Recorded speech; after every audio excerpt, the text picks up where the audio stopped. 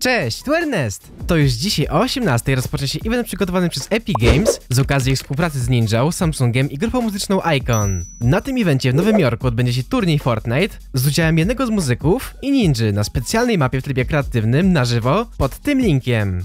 Epic nie ujawniło jeszcze jaka to będzie mapa, ale na powierzchni internetu wypłynął zwiastun tego wydarzenia, na którym zaprezentowana jest częściowa mapa z tego wydarzenia. Hard.spl na swoim Twitterze dał znać, że w folderze w chmurze z plikami na temat promocji Samsunga, do którego link przez przypadek pokazał Ninja, pojawiło się nowe wideo, prezentujące m.in. tą właśnie mapę.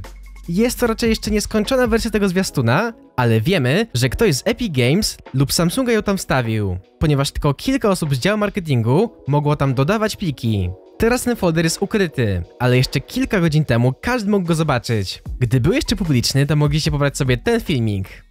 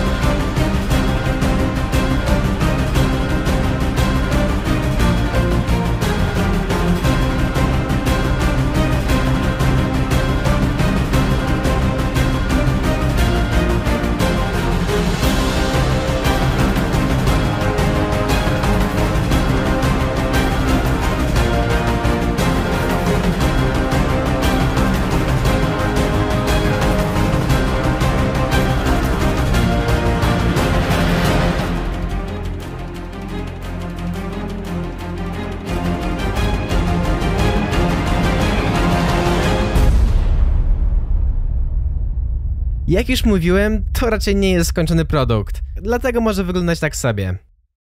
Poza tym to do gry nadchodzi też event powiązany z Dniem Świętego Patryka. Wiemy, że niedługo będzie dostępny nowy tryb, w którym to będą tylko zielone przedmioty, z wyjątkiem legendarnych, które będą wypadały tylko z zakopanych skarbów.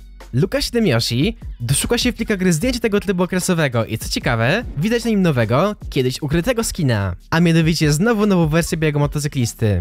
Powinien on wejść do sklepu przy okazji najbliższej zmiany, czyli w niedzielę o pierwszej w nocy, ponieważ to w tą niedzielę wychodzi Dzień Świętego Patryka.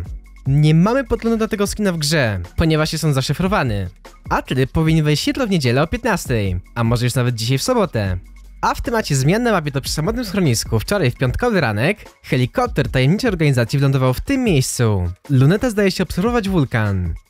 Coś mi się wydaje, że ta organizacja ma w planach okrążyć wulkan, w którym skrywają się smocze jaja. Coś tu na pewno jest grane. Może nadchodzi erupcja wulkanu. I to tyle. Ja już dziękuję za oglądanie i do zobaczenia w busie bojowym.